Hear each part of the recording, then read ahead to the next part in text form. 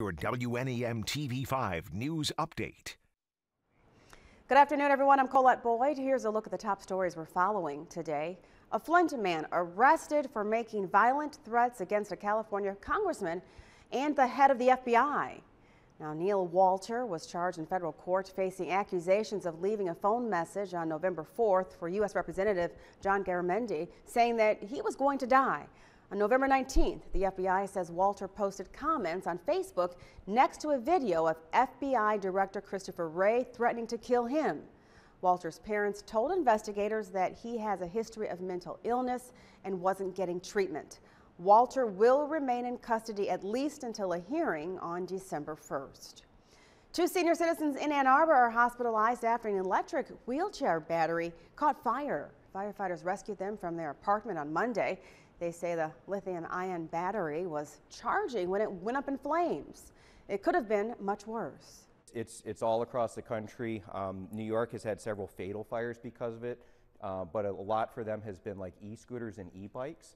This is one of the first ones I've heard of of electronic wheelchair.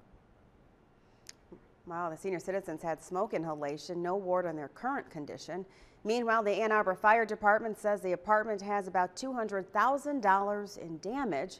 Several other residents have also been displaced because of water damage.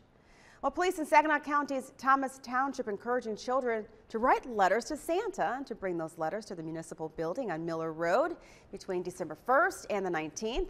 They promise that Santa will write back. Now here's Matthew with a look at your forecast. And we are tracking some pleasant weather for this Wednesday. Temperatures already into the 40s at this lunch hour. We'll even see some temperatures right near that 50 degree mark farther south by this afternoon. But upper 40s for the Tri-Cities, lower 40s north. Even up north, though, you aren't seeing middle 40s or even upper 40s. That's still warmer than the last couple of days. We'll stay dry all the way through the afternoon, too. Plenty of sunshine is expected. By the overnight hours, we are first alerting you to that chance for some patchy fog, just like we've seen this morning and on Tuesday morning, too. But any fog that forms doesn't look to be too dense or too thick. And once we get into your Thursday, still expecting dry weather during the daytime, although some of those showers will be trying to knock on our door by around dinner time. I am expecting most of this to start up after dinner, mainly just after sundown on your Thursday. Just some spotty to scattered showers that'll come to an end pretty quick early on Friday morning. And it looks like by Friday afternoon, we're already back to some sunshine. So for your Thanksgiving forecast, temperatures have been trending upwards. 48 degrees, mostly cloudy. Again, those scattered showers moving in